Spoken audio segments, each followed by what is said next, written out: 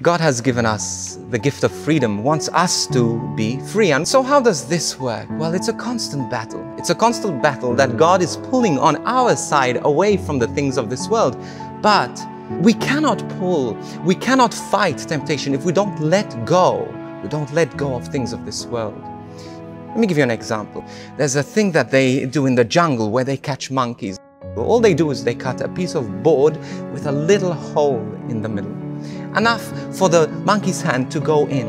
And the monkey's hand goes in because on the other side there are a few nuts. And once they try to pull away and their wrist is closed, it's impossible. And so they pull and they jump and they scream, but they won't let go. Now, this is what happens to us. God tells us to let go because He's come to give us freedom. He's come to give us rest. But we have to cooperate with the mercy of God by letting go of things of this world.